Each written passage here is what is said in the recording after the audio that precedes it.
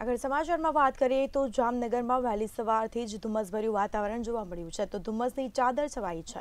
તો ધુમ્મસભર્યું વાતાવરણના કારણે વિઝિબિલિટી ડાઉન થઈ હતી અને જેના કારણે વાહન ચાલકો મુશ્કેલીમાં મુકાયા છે.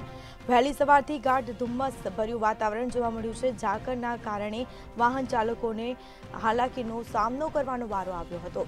તો વાહનોની હેડલાઇટ ચાલુ રાખવાની ચાલકોને ફરજ પડી હતી.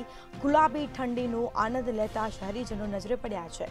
તો આ વહેલી સવારના દ્રશ્યો છે. જામનગર પર સફેદ ચાદર છવાઈ છે. ધુમ્મસભર્યું વાતાવરણ જોવા મળ્યું હતું. વહેલી સવારથી જ ગાઢ ધુમ્મસભર્યું વાતાવરણ જોવા મળ્યું છે અને જેના કારણે વાહન ચાલકો મુશ્કેલીમાં મુકાયા હતા.